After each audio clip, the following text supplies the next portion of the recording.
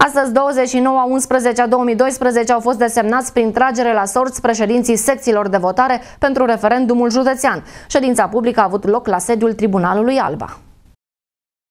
Sala de Consiliu a Tribunalului Alba a găzuit astăzi la ora 13 ședința publică, în cadrul care a avut loc desemnarea prin tragere la sorți a președinților care vor face parte din birourile electorale ale celor 148 de secții de votare organizate în județul Alba, cu ocazia referendumului județean ce se va desfășura duminică, 9 decembrie 2012. Tragerea la sorți a fost efectuată de doamna judecător Cornelia Mureșan, președintele Tribunalului Alba, asistată de doamna Alexandrina Bișboacă, prim grefier la Tribunalul Alba. Astăzi la Tribunalul Alba au fost desemnați prin tragere la sorți președinții birourilor electorale ale celor 148 secții de votare, organizate în județul Alba cu ocazia referendumului județean ce va avea loc duminică 9 decembrie Tragerea la sol s-a desfășurat în conformitate cu prevederile articolului 26 aliniatul 2.6 din legea numărul 3 per 2000, privind organizarea și desfășurarea referendumului cu modificările și completările ulterioare ale hotărârii Consiliului Județean Alba, numărul 183 din 16 noiembrie 2012 pentru stabilirea organizării referendumului la nivel județean în 35 de unități administrativ-teritoriale în vederea consultării cetățenilor cu privire la repornirea mineritului în Munții Apuseni.